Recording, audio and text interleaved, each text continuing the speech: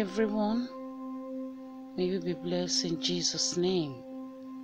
Our topic today is overcoming grief and loneliness.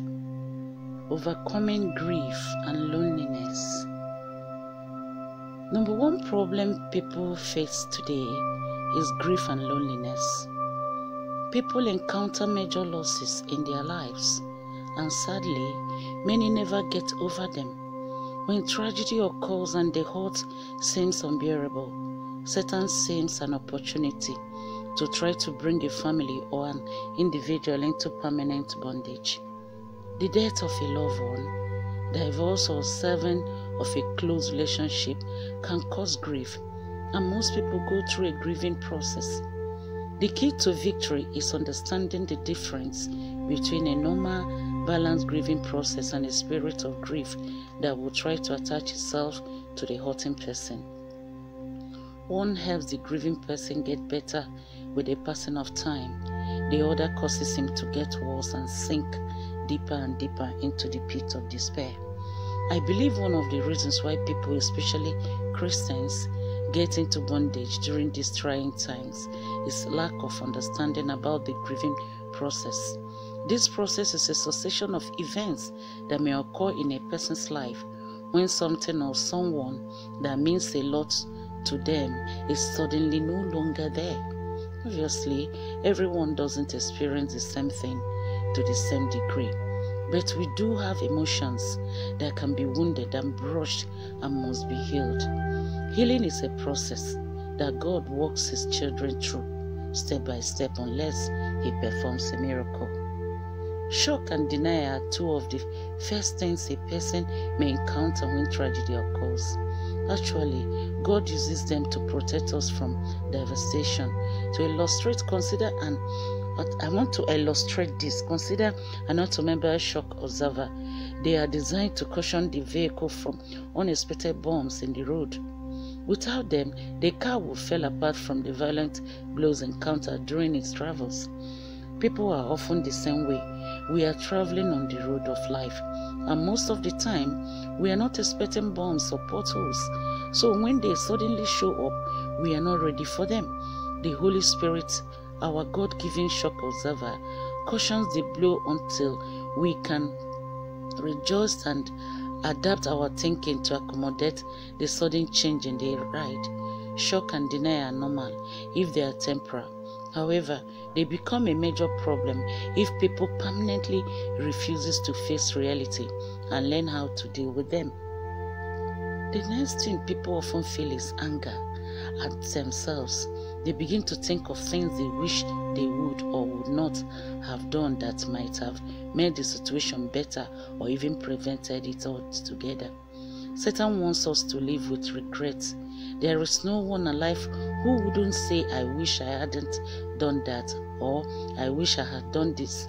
Satan seeks to place blame, intending to throw us into a lifetime of guilt, condemnation, and self hatred. This is why the book of Philippians 3:10 Paul says something. I, I want to read it from the Amplified. He said, I do it as my one aspiration, forgetting what lies behind and standing forward to what lies ahead. The word standing in the Amplified Translation tells us that whenever we have to press on, there will be opposition from the enemy. Endings always bring new beginnings. Satan strives to keep us out of the new place that God has prepared. He wants to trap us in the past and cause us to live in permanent misery. God forbid, which is what self anger and self blame will do. People may also experience anger at the person who left them, even if they died. There's one of my auntie told me that after uh, my uncle died, she'll beat his pillow at night and yell, Why did you leave me? Obviously, her intelligence knew he didn't purposely leave her. But emotions we are speaking. Emotions have a voice. When they are wounded, they may react like a wounded animal.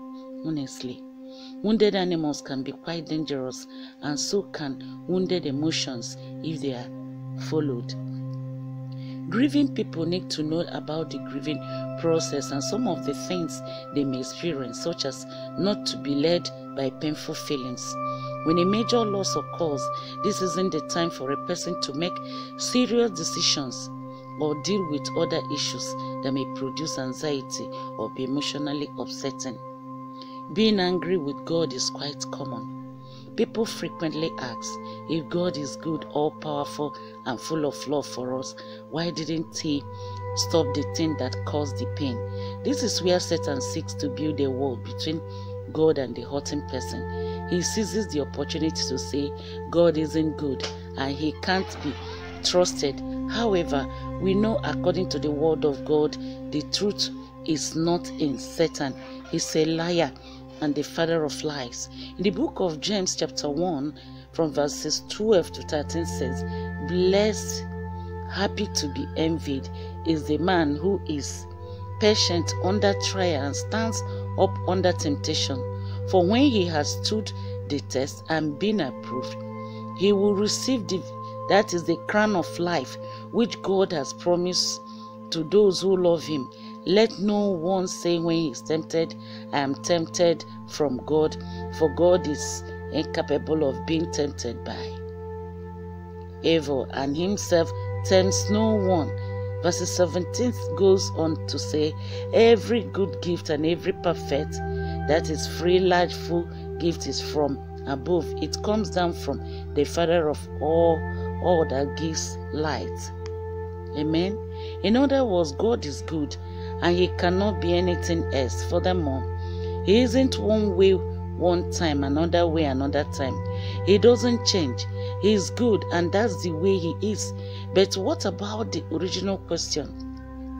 Since God is good and all powerful, why didn't He stop this thing before it brought all the hurt and pain? To be honest, these are questions we don't have completely insufficient answers for. First, First Corinthians chapter 13 verse 12 says, No, I know in part, that is, we are imperfect. Trust will always require us to accept unanswered questions. We want answers to everything, but we must come to the place where we are satisfied to know the one who knows and place our trust in Him.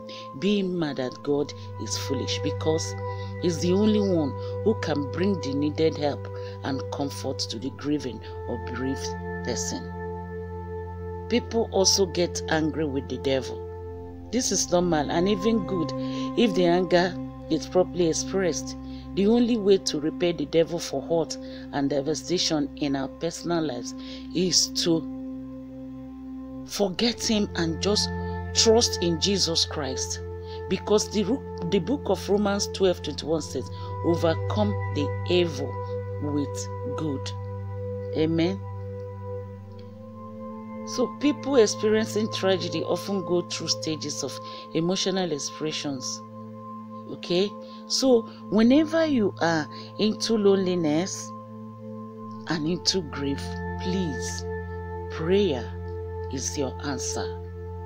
Keep on praying, keep on talking to God. He will make a way for you.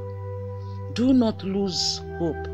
If you are hurting right now due to a loss in your life, I want to tell you that a new beginning is in front of you. You may go through some things that you will never understand, but trust God to work them out for your good. What Satan intends for your harm, God can turn around for your good. And I know with the word of God we have had now, the Lord Almighty will see you through. We see everybody through. In Jesus' mighty name. Amen. Thank you for listening to me. Thank you for coming to Wisdom TV Nigeria.